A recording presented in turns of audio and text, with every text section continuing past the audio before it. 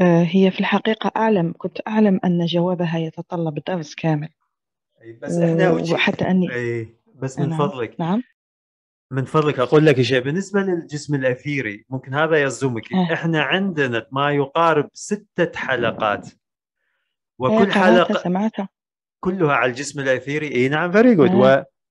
إي نعم. يعني وتحدثنا بعمق جدا جدا مم. عميقة يعني بالجسم الأثيري. حتى هيك ممكن معمارية الجسم الاثيري حتى الطلاب أي. اللي كانوا معنا في تلك الحلقات استغربوا يعني. يعني وضحت لهم أمور لم يعرفوها سابقا. أي نعم. يعني دخلنا في معمارية الجسم الاثيري بعمق. أي نعم. إيه هذا اللي هذا اللي لاحظته هنا. حتى أني سمعت أيضا فيديوهات عن ال عن ال- العقل الباطن. نعم. لكن اللي لاحظته سؤالي هو أنه عزيز شيء لاحظته.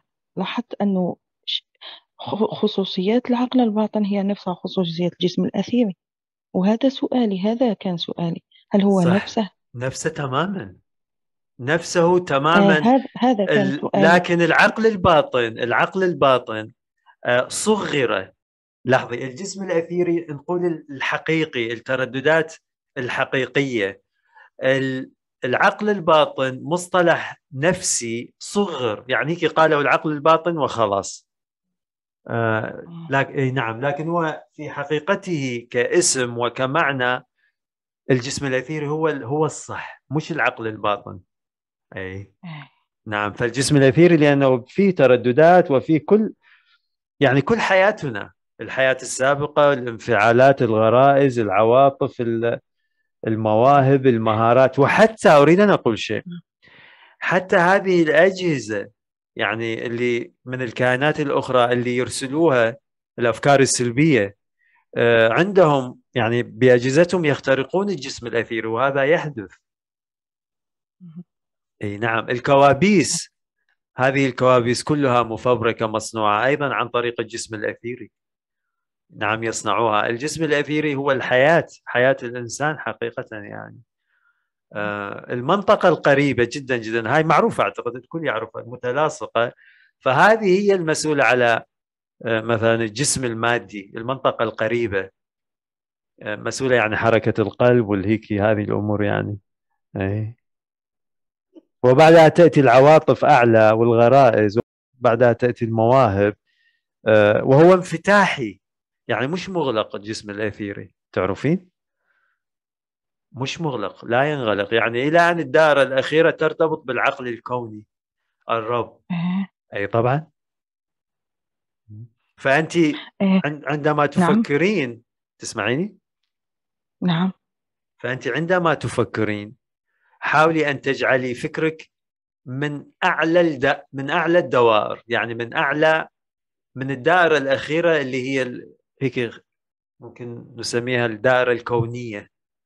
اللي مرتبطة بال بالعقل العقل الكوني. نعم فبالمناسبة آه. أريد أن أقول شيء أنت كلما تنقي أفكارك وكلما تصعد إلى الضوء هو ماذا يحدث؟ يحدث انفتاحية بالجسم الأثيري فبالتالي هي حتى تحقيق الأهداف يعني هذه تحقيق الأهداف آه، كلما أنت تقوم بفتح الجسم الأثيري تصعد أعلى أعلى أعلى تحصل على الحماية وتحصل هيك على يعني تقوم بتحقيق الأهداف النقاء.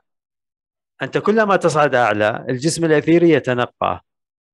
وكلما تنزل الجسم الأثيري تجده ملوث. ملوث بالبرمجة الاجتماعية وبالدين وبالمخاوف. فمثلا عندما الإنسان يفكر بالمخاوف يعني يخاف يشك فيجب أن تعرفوا أن هذه الترددات القريبة هيك جدا جدا القريبة مش النقية. وطبعا عندما الإنسان يترك الأرض فيعيش بالجسم الأثيري.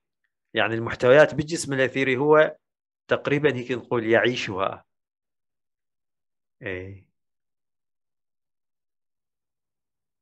أستاذ ولما لما يقترب لما نقترب من ال- نتحدث عن العقل الباطن يعني مصغر جسم اثيري مصغر إيه. لما نقترب آه، آه، ننزل يعني و- و- فعند حواف ال- العقل الواعي إيه آه،. هنا هنا المعتقدات وال يعني التلوث هنا في حواف حافة العقل الباطن مع حافة العقل الواعي هكذا ما هو أه؟ هو أريد أقول لك حاجة ال ال هي هاي حتى التسميات هاي كلها خاطئة.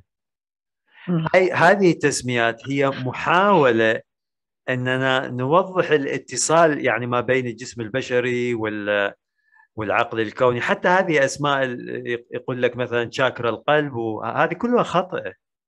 لأنه هو في الحقيقة نعم ما فيها أسماء. هي المسألة بص هي المسألة تماما تماما تماما تماما تماما. هي مسألة ترددية. آه، ترددات. المسألة كلها ترددات. الآن مسألة إنه العقائد مثلا تقترب آه، يعني قريبة مننا ولا هذه هذه تنزل وتصعد. لأنه أنت في في زمن معين. بصي مثلا أنت الآن قبل سنتين كنت بعقيدة معينة أليس كذلك؟ قبل سنتين قبل ثلاث سنوات كنت بفكر معين. ننتبه الآن. الآن أنت الآن معنا فكرك تغير. فإذا أصبح تغير بالجسم الأثيري فهي ليست ثابتة. الأمكنة بتاعتها هي ابدا مش ثابتة. الجسم الأثيري ديناميكي. مش ثابت اطلاقا. وهذا أعظم شيء لأنه عن طريق الديناميكية فنحن نقوم بتوسيع يعني نحن نحن نسيطر بالفكر. فهو ما نقدر نقول ما نقدر يعني نثبت نقول يعني العقائد قريبة والغرائز بعيدة لأن موجودة هي هاي الشاكرات والدوار الكل يشاهد الزرقاء والخضراء والحمراء يعني موجودة بالإنترنت. بس هذه الخطأ اللي فيها هذه ثابتة. الجسم الأثيري مش ثابت. لأنه الجسم الأثيري مثلا بتاع طفل يعني هو يختلف عندما الإنسان يكبر. بعد عشر سنوات يختلف الجسم الأثيري. بعد عشرين سنة يختلف. بعد ثلاثين سنة آه، يختلف. آه هذا الشيء. الآن ممكن شخص يسألنا يقول ما هو الجسم الأثيري؟ يعني شخص ممكن يسأل يقول أريد أن أعرف ما هو الجسم الأثيري؟ نقول هو مش موجود. هذا حتى الجسم الأثيري تسمية خاطئة. أنا قلت هذا. هذه فقط أسماء نحن نستخدمها لتفسير الكون. هو حتى هذا جسم أثيري كلمة خاطئة. يعني ممكن هذا يصدمكم.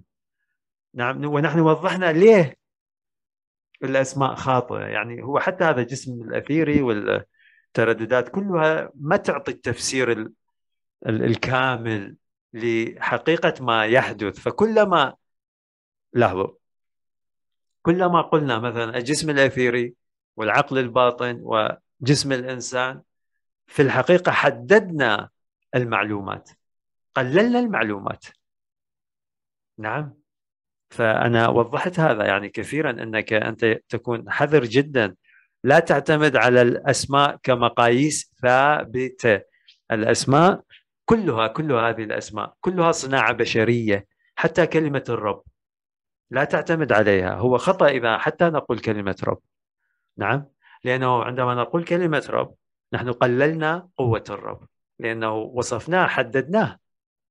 في حين هو الكون فوق الوصف. فوق الوصف.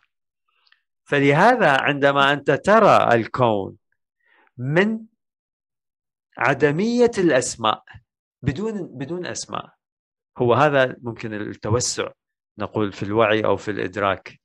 الأسماء تقلص المعلومات. نعم تقلصها كثير يعني حقيقة. أي نعم. ف فما هو الجسم الأثيري؟ أرجع. ما هو الجسم الأثيري؟ مجهول غير معروف. ما هو الإنسان؟ غير معروف. ما هو الرب؟ غير معروف.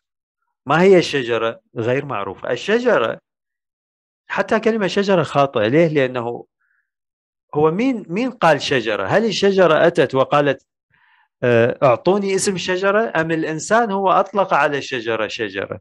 الآن اذهب إلى الشجرة. من أي مكان هي شجرة؟ يعني إذا مسكت أنت الجذع نفترض مسكت الجذع فهل هذا هو الشجرة؟ لأنه إذا مسكت الجذع نقول لك طيب ما هو داخل الجذع؟ تقول لي في داخل الجذع خلايا نباتية نقول لك okay ما هو داخل الخلايا النباتية؟ تقول ذرات نقول okay ما هو داخل الذرات؟ تقول لي الكترونات نقول لك okay ما هو داخل الالكترونات؟ تقول لي فضاءات. نقول لك okay. ما هو داخل الفضاءات؟ أبدية أو ما نعرف نقول. أما نقول أبدية أو ما نعرف. فإذا الجذع هو في في الحقيقة مجهول. الشجرة مجهولة الجبل مجهول الأرض مجهولة. نعم. لأنه كلما تدخل في الاسم هناك أعمق. إذا تصف الشجرة تصل إلى داخل الشجرة. وإذا وصلت إلى داخل الشجرة سوف ت... يجب يجب هيك أن تصف داخل داخل الشجرة. وإذا وصفت داخل داخل داخل الشجرة سوف تصل إلى الذرات. وإذا وصفت الذرات سوف تصل إلى الإلكترونات. وإذا وصفت الإلكترونات سوف تدخل إلى الفراغ. وما هو في داخل الفراغ؟ مجهول. اي طبعا هيك. فهذه كلها هي مش صحيحة. تشاكرا وجسم أثيري وعقل باطن والراب كلها ليست يعني صغيرة صغيرة للتعريف. إيه، شكرا أستاذ. يا عزيزتي انت ربي يبارك ويحميك يا رب.